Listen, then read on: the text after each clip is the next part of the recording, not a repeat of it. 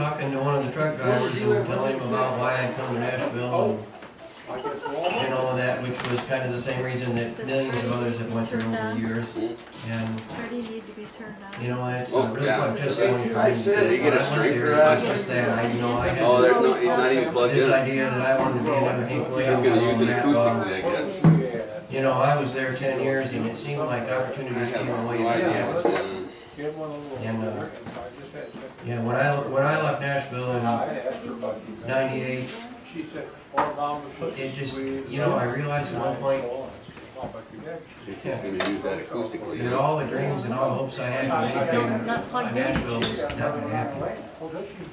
Plug it And you in. know, I, uh, Has the battery in it? Yeah. It won't I work felt pretty empty and I, uh, Put it I somewhere. just didn't feel like I really had much. But, Okay, wow. No, you're. but you know, I look back now and I see the changes that the Lord has made in this man's life and where I am right now. Why did nothing happen there then? Because God would have me to be where I am right now. And he, he knows the end from the beginning. Right, I mean, we don't, we just don't, don't really see too often that Good to see you. God has a bigger plan. You know, he, he does see the end from the beginning and he knows what he is. God planned for our lives and so often it's not what think we have planned for. Uh, Is he turned on? Anyway, this is a song called He Took Your Place. I don't know who wrote this song, but uh, there's a lot of wisdom in this song. I am in the key of D. The battery in it, Bob? He's plugged in now. Still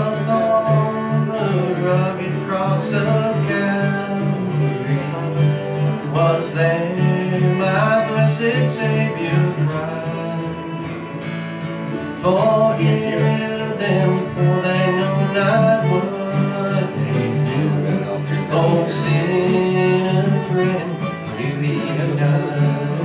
On at. His hands are gently knocking on your door. Outside, he's pleading to come in. His heart is breaking as he waits you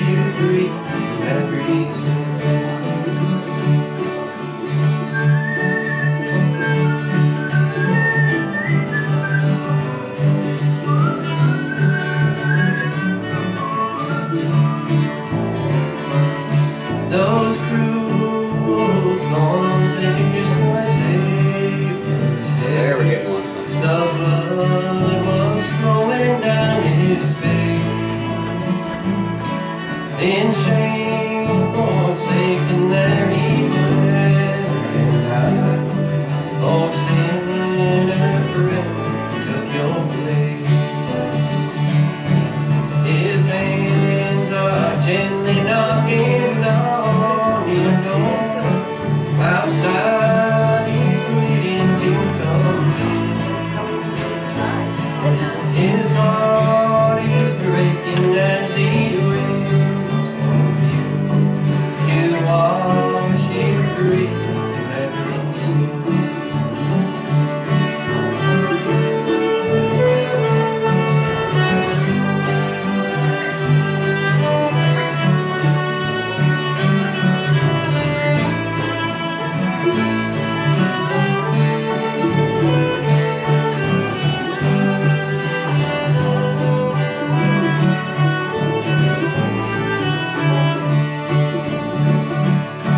Someday he's coming back to claim his own with life.